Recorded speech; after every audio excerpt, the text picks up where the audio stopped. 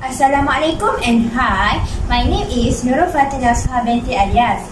I from Sekolah Menengah Kemasaan Berangan, Kelas 2 Ton Perak. So today, I would like to tell you a story about Sing to the Dam, written by Ming Fong Ho. It is a story about Dawan, a young Moorish girl who lives in Thailand at Bangkok.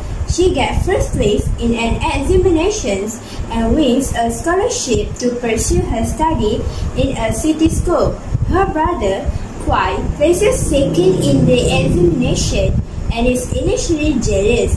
This jealousy creates a rift between the two previously close siblings.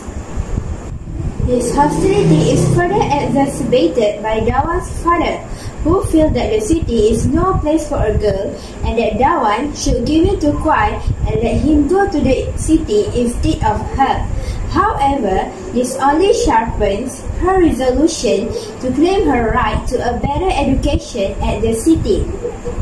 Soon, she gets the support from her mother and grandmother as well as a few others.